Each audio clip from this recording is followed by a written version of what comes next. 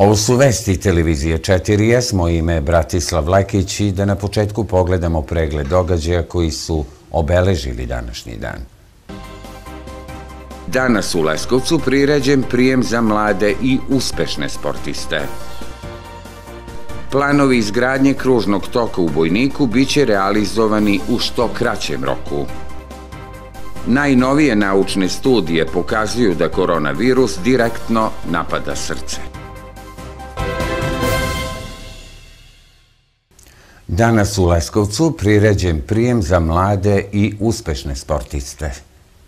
Danas je u svečanoj sali grada Leskovca upriličen prijem za članove atletskog kluba Dubočica i plivačkih klubova Leskovac i Dubočica koji redovno osvajaju brojne medalje na republičkim i međunarodnim takmičenjima. U ime gradonačelnika Leskovca Gorana Cvetanovića prisutnima se obratila zamenica Ana Janković-Stojanović. Ona je rekla da je velika čast što lokalna samouprava može da se pohvali mladim i talentovanim ljudima poput atletičarke Tanje Antić koje je na republičkom takmičenju takmičenju u Ćupriji osvojila srebrnu medalju u juniorskoj konkurenciji, ali i uspesima mladih plivača. Ovi mladi i uspešni ljudi poseduju ogroman potencijal, sportski duh i e, talenat koji je prepoznat i pravilno usmeren i vredan je svakog poštovanja i divljenja.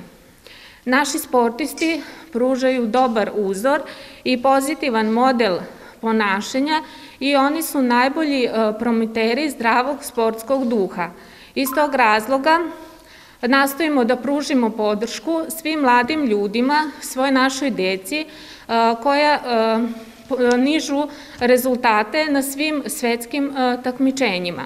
Grad Leskovac iz budžeta izdvaja 95 miliona dinara za podršku lokalnim sportskim organizacijama i udruženjima i savezima i trudimo se da obezbedimo optimalne uslove za bavljanje sportom u pogledu infrastrukture e, kao i mesta za treniranje i rekreativno bavljanje sportom, zato što je sport e, veoma bitan za zdravlje i rast kako u detinstvu, tako i tokom puberteta.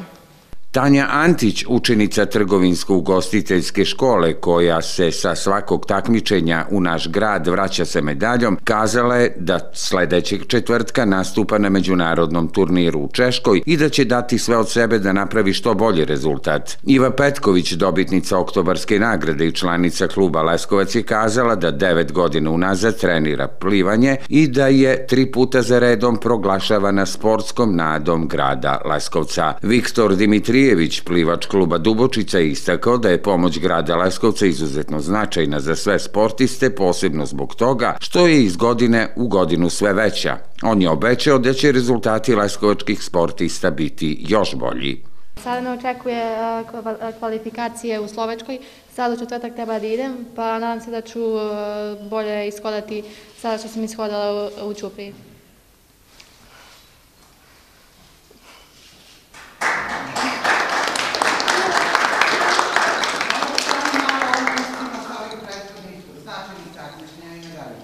Nisam bila baš zadovoljna u Čupi što sam ishodala. Nadam se da ću sada bolje u Slovačkoj da idem brže i novih 5 e, km, pa vidjet ću kako ću da pođem. Moj talenat i rezultate u plivanju prepoznao je grad Leskovac i gradonačelnik dr. Goran Cvetanović, te sam proglašena za sportsku nadu grada Leskovca već tri godine unazad.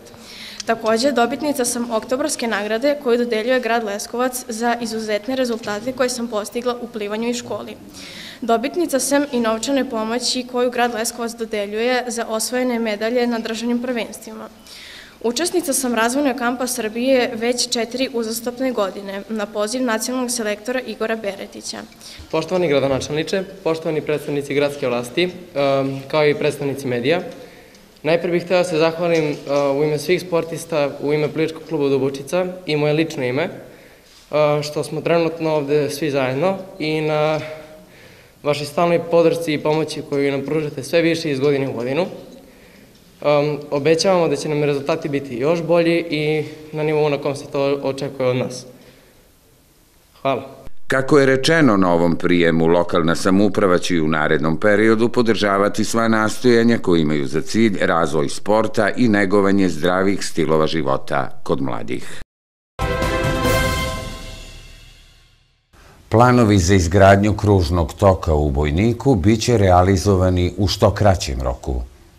Na javnom konkursu za sufinansiranje planske dokumentacije Ministarstva saobraćaja, građevinarstva i infrastrukture ideja za izgradnju kružnog toka u Bojniku je dobila zeleno svetlo. Kako je u izjavi za televiziju 4S kazao zamenik predsednika opštine Dejan Stojanović na osnovu urbanističkog plana opštine u strogom centru na mestu gde se sada nalazi mini park i fontana biće izgrađen kružni tok, a nakon završetka ovoga planira se izgradnja još još jednog kružnog toka kod Doma zdravlja. Stojanović je dodao da se ova godina koristi za izradu svih planskih akata kako bi se lokalna samouprava sledeće godine spremila za realizaciju završnih radova. Istovremeno, kako je dodao Stojanović, biće razmotreni razni planovi koji se odnose na ozelenjavanje javnih površina i stvaranje uslova za estetski lepši grad.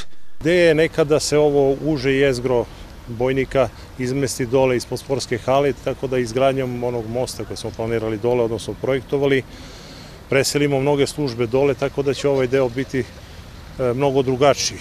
Mi ćemo raspisati jedan konkurs za idejno rešenje uređenja ovog parka ovde u kome sada stojimo, tako da mislimo da će to potpuno drugačije i mnogo lepše izgledati nego što je sada. Šta sa spomenikom, fontanom? Pa, projektanti će davati neka rešenja, mi ćemo vidjeti kakva su to rešenja, pa ćemo se sa tim složiti ili da tražiti neke izmene. Uglavnom, fontana se svakako izmešta, verovatno će biti dole ispred sportske hale, jer nema prostora za kružni tok ukoliko ostane fontana, tako da ovaj deo će biti nekako drugačije rešen nego što je sada. Koliko će to da rastereti saobraćaj? Pa svakako da će mnogo rastereti saobraćaj, jer mi imamo u planu znači, izgradnju tog mosta gore, iznad, e, ispod pijace i jedne ulice koje vodi prema vrtiću, tako da ceo taj prostor će biti mnogo rasterećeniji i bit će mnogo više saobraćanica nego što je sada.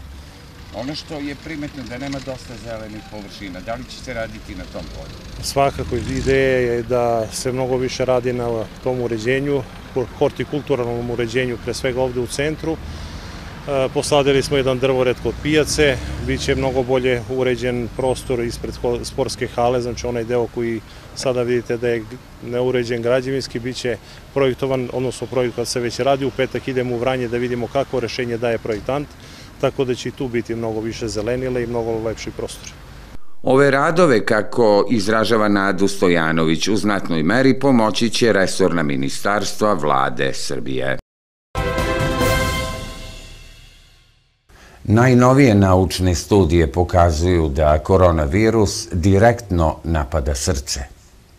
Najnovije naučne studije pokazale su da koronavirus direktno napada srce pored ostalih organa u telu na koje podjednako negativno utiče. Koronavirus dovodi do brojnih komplikacija i ostavlja ozbiljne posledice po zdravlje. Takođe on dovodi do tromboze kao i do smrtnih slučajeva izazvanih komplikacijama. Svetski poznati kardiolozi u svojim naučnim studijama navode da je koronavirus pronađen u srcu 30 pacijenata od uzorkovano tretiranog 41 pacijenta. Koronavirus primarno napada pluće i respiratorni sistem, ali je moguće da napadne i sve druge organe u organizmu. Postoje 173 simptoma koji ukazuju na prisustvo virusa. Neki od simptoma koji su zabeleženi su tegobe srca, jetre, bubrega, objašnjavaju kardiolozi. Virus iz vazduha kroz respiratorni sistem ulazi u plućne alveole koje budu upaljene do infekcije. On iz pluća odlazi u plućni krvotok, ide kroz krv koja dolazi u srčani organ. Kad dospe u srce putem krvi,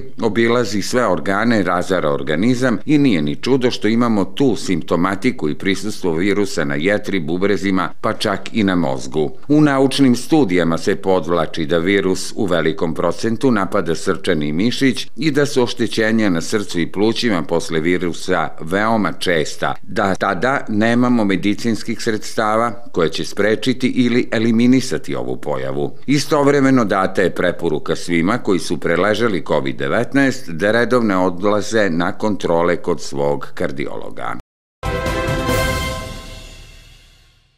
Na području Jablaničkog okruga beleži se dalji pad novoobolelih od COVID-19.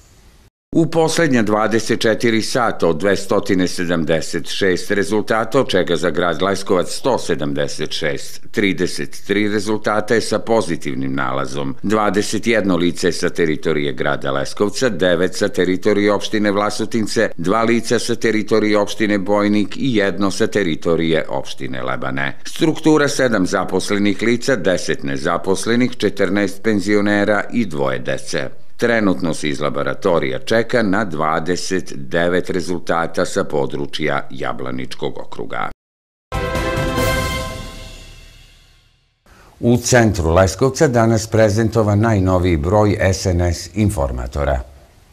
Na naslovnoj strani SNS informatora predsjednik Srbije Aleksandar Vučić poručuje da vakcina život znači. Na stranicama ovog lista izneti su i podaci da je građanima Srbije dato više od 3 miliona doza vakcina, kao i da je naša zemlja pokazala humanost jer je kao pomoć građanima Severne Makedonije i Crne Gore uputila kao donaciju velike količine vakcina. Evropska unija je spremna da podrži izgradnju pruge od Beograda do Severne Makedonije, što je takođe zauzelo centralno mesto na stranicama SNS informatora. Cilj Srbije je da se izgrade dve bolnice na području Kosova i Metohije, piše u ovom broju SNS informator, a značajno mesto dato i činjenici da je predsjednik Srbije postao počasni građanin Banja Luke. Prioritetni zadatak, kako prenosi SNS informator izjavu predsjednika Vučića, je jačanje vojske i policije. U rubrici SNS Panorama mesto je rezervi rezervisano za aktivnosti lokalnih samouprava, a među njima velika pažnja je posvećena i gradu Leskovcu i angažovanju gradonačelnika i njegovog tima na zdravstvenom, ekonomskom i infrastrukturnom polju.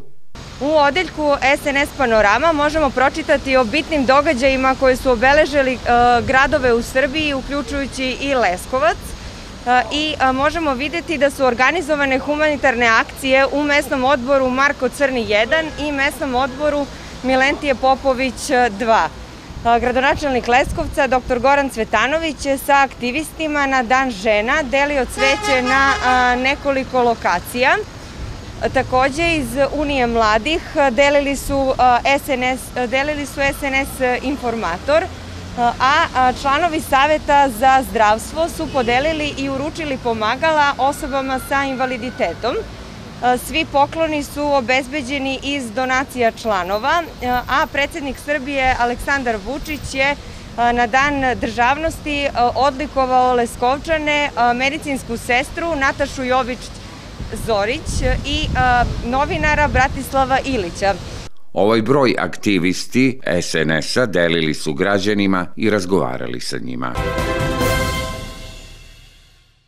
U narednom periodu prognozira se promenljivo oblačno, kišovito, ali toplo vreme. Sutra se očekuje promenljivo oblačno, mestimično kiša, pljuskovi i grmljavina. Vetar slab umeren, zapadni i jugozapadni. Najniža temperatura od 8 do 13, najviša dnevna od 19 do 23 stepena. U subotu promenljivo oblačno, mestimično kiša, pljuskovi i grmljavina. Vetar slab i umeren, zapadni i jugozapadni. Najniža temperatura od 8 do 12, najviša dnevna od 19 do 23 stepena. U nedelju promenljivo Nedeljivo oblačno, mestimično sa kišom, pljuskovima i grmljavinom. Vetar slab, umeren, zapadni i jugozapadni. Najniža temperatura od 8 do 12, najviša dnevna od 19 do 23 stepena. Prognoza vremena za narednih 5 dana. U ponedeljak promenljivo oblačno, malo toplije i uglavnom suvo. Od utorka pretežno oblačno i svežije sa kišom, pljuskovima i grmljavinom. Na kraju vesti još jednom podsjećanje na najbitnije događaje današnjeg dana. Danas u Leskovcu priređen prijem za mlade i uspešne sportiste. Planovi izgradnje kružnog toka u Bojniku biće realizovani u što kraćem roku. Najnovije naučne studije pokazuju da koronavirus direktno napada srce. Pratili ste vesti televizije 4S, hvala na pažnji i prijatno veče vam želimo.